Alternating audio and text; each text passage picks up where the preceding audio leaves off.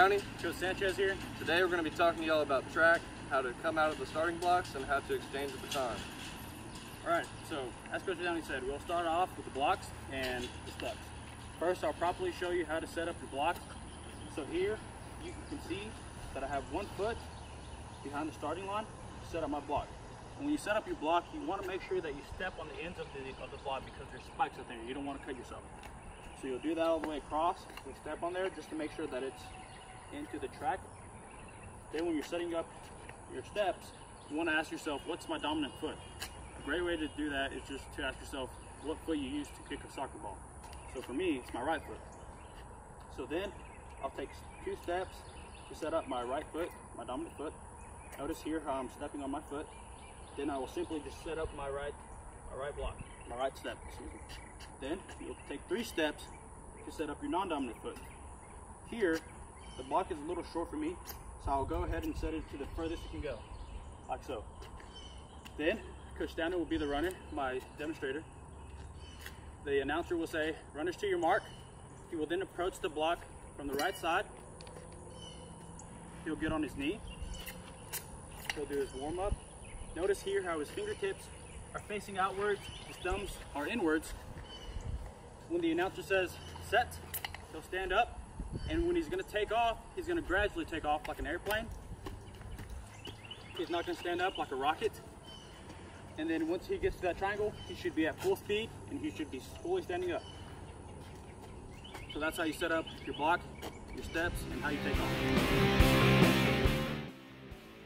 So in track, there's a race called the relay race.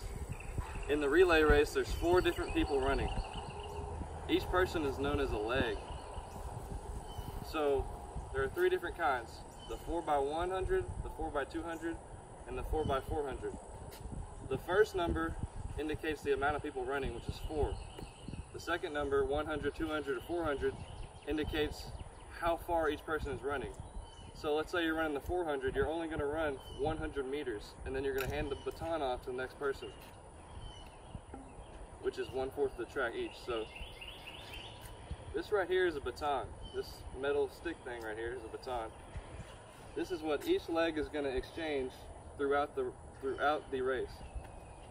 You're going to want to hold the baton at the base of the baton so that you don't drop it. If you hold it like this, you can knock it out.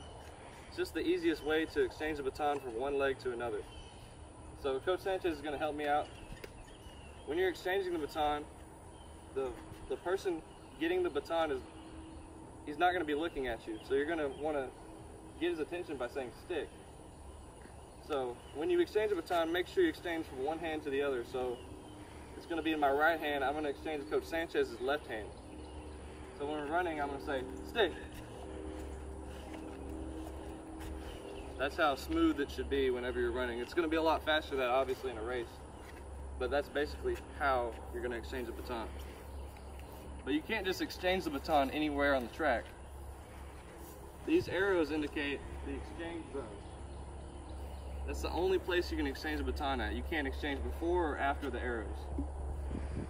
Uh, that dash right there, before the arrow, that's called the acceleration zone. So between here and here is where you're going to want to place your mark. Your mark indicates where you want to start running. Whenever the leg before you gets to the mark, that's when you're going to want to start running. That's when you're going to start getting ready to receive the baton. If the, if the leg before you is a lot faster than you, you're going to want to exchange the, you're to have your mark a lot farther back. That way you're going to have time to gather and get ready. If you're slower, you're going to want to put the mark a little closer. And so basically that's the basics of how to exchange a baton, how to receive it, where you want to place your mark, where you can exchange the baton, and that's basically it. Coach Sanchez, anything? Remember guys, the best teams out there, they have the best exchanges out there. So just keep that in mind. You want to practice those exchanges and make them really crisp.